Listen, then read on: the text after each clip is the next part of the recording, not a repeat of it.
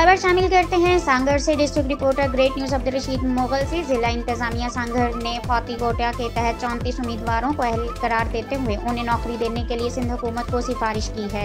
ये सिफारिश आज डीसी ऑफ़िस में डिस्ट्रिक्ट रिकॉर्डमेंट कमेटी सांगर के इजलास में committee chairman deputy commissioner Sanghar doctor Imran Hasan Khawaja की जेर सदारत की गई।